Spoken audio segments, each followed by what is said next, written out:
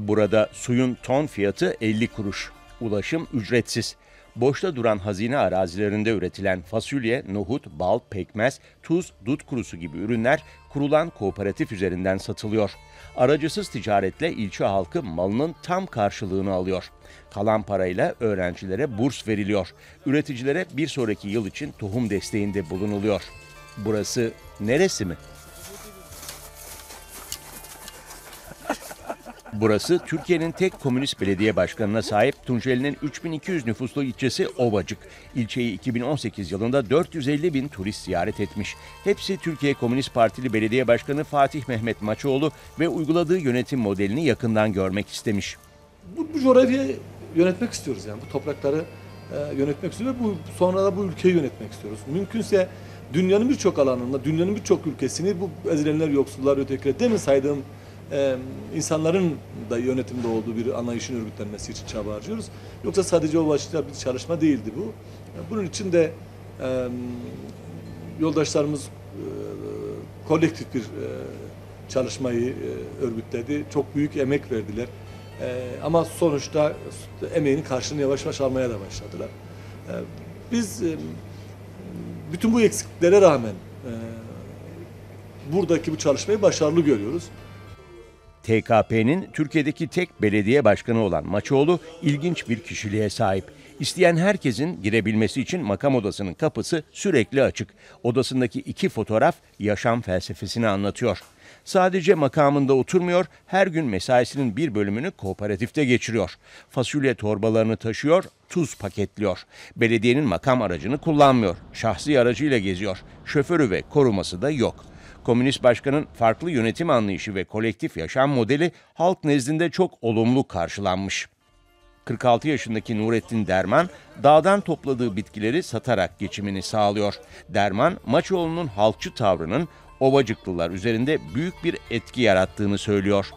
İlçenin bir reklam yüzü oldu. Yani turizm anlamda bir gelişme oldu. İşte kooperatif anlamda öğrenciler gerek öğrenciler olsun gerekse işte maddi durumu yetersiz olan insanlara yani e, kazanılan paydan verilmesi tabii ki önemli. Yani insan e, burada yaşayan insanlar üzerinde bir etki bıraktı. Bu etki öyle büyük ki yaşadığı yeri bırakıp Ovacık'a yerleşenler de olmuş. Onlardan biri 24 yaşındaki Özge Tanır. Samsun'dan gelen Tanır şimdi kooperatifte çalışıyor. Ekim yapan insanlar e, ücretlerinin karşılığını alamıyordu. İşte o aradaki tüccarlar, tefeciler geliyordu. insanların emeğinin karşılığını vermiyordu, alıyordu, gidiyordu. İnsanlar da bu noktasıyla üretimden koptu ve bu yaptırımlardan kaynaklı. Biz bu noktasıyla insanlara bir güvence sağladık. Yani üretime dahil ettik. Üretime işte e, birçok insana destek verdik köylülere. Bu noktasıyla işte inek verdik. Mandıramız da var biliyorsunuz. Süt aldık onlardan. İşte tarla ekmelerinde yardımcı olduk. Birçok insana iş imkanı sağlandı. Onun haricinde e, halkın kendi kendini yönete, yönetebildiği bir yer haline geldi burası. Ovacığa yoğun seçim atmosferi hakim. Çünkü belediye başkanı Maçoğlu hedefini büyüterek Tunceli Belediye Başkanı adayı oldu. Bu kez seçim çalışmaları çok daha yoğun. Çünkü cezaevinde bulunan partisinin Ovacık Belediye Başkanı adayı Hayati Güngör'ün seçim çalışmalarını da yürütüyor. Ama sürekli halkın arasında bir başkan olarak işin keyfini de sürüyor. Para için nasıl sıraya giriyorsunuz değil mi? Ama iş olsa girmezsiniz. 22 bin seçmeni olan Tunceli'de seçimlerin HDP ve CHP arasında geçmesi beklenirken Maçoğlu 3. belki de en kuvvetli aday olarak kendine yer açtı. Anketlerde HDP adayı ile baş başa görünse de seçim bürolarında durum farklı.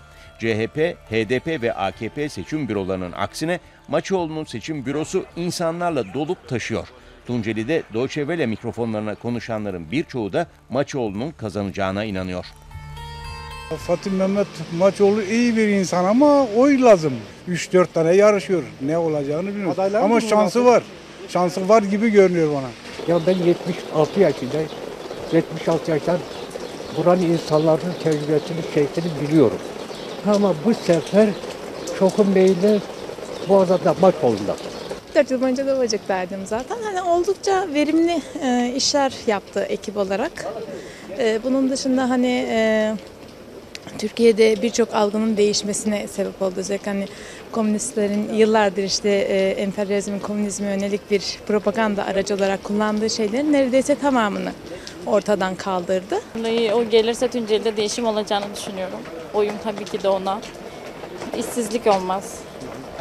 Görüyorsunuz gençler zaten boş boş dolaşıyor. Hani iş- gençlere iş olanlar daha fazla olur. O yüzden Fatih Bey'e oyumu vereceğim yüzde yüz. Maçoğlu'nun seçim kampanyası da rakiplerinden farklı. Birebir insanlarla sohbet ediyor, oy istemek yerine kendi hayaliyle sokaktaki insanın hayalini buluşturmaya çalıştığını söylüyor. dünyadaki bireylerin, toplumların e, rü- rüyası ya da hayali devasa değildir. Kendini mutlu edecek kadardır. Kendisini mutlu eden hayallerin kadar olduğunu hepimiz görmeye başladık. Biz bu dünyadaki e, hayalle, hayal eden insanların bir parçasıyız. Kendi hayallerimizi gerçekleştirmeye çalışıyoruz. Yani kendi hayallerimiz toplumun hayalidir. Çünkü beraber yaşadığımız, beraber ekmek yediğimiz, beraber yemek yediğimiz ya da aynı tabakta buluştuğumuz kişinin anlattıkları kendi hayalleridir. O anlatılanlarla bizim anlatılanlar bir araya geliyor, harmanlanmaya başlıyor. E, o bacık e, Dersim'de bunu Dersim'in de dışına çıkarak bunu e, küçücük bir öncüsü demeyelim ama e, faaliyetini yürüten bir e, ilçe olmuşsa bi- bizi mutlu ediyor. Tunceli için vaatlerinin odak noktasında yine üretim ve istihdam var. İslam sorununa dair çalışma yapacağız. Üretim yapacağız, üretim yapacağız, üretim yapacağız. Üretimi üç ayağı olacak. Bir, doğayı bozmadan, doğaya zarar vermeden turizme kenti yapmak istiyoruz. İki, kendi üretim alanlarında tarım ve hayvancılık bu coğrafyada mümkün. Üç, bu coğrafyada üretimlerin ortaklaşmadığı her ilçenin bir başka şehir, bir başka ilde buluştuğu e, bir anlayışı bu şehirde e, kendi şehri içerisinde kendi ekonomi, iktisadi ve o kendi e, kent ekonomisinin örgütlediği bir anlayışa kavuşturmamız lazım. Aksi takdirde buradan göçler başlayacak. Aksi takdirden buraya dönüşler olmayacak. Maçoğlu tüm çalışmalarının odağında insan olduğunu özellikle belirtiyor ve o insanlar arasında ayrım yapmıyor. Gerektiğinde aracı kara saplanmış rakiplerine de el uzatabiliyor. Lan var ya biz olmazsak yolda kalacaksınız bak unutma. Ayrım yapmaksızın gittiği insanlardan beklentisi de hayallerini gerçekleştirmek için seçimlerde kendisine destek olmaları.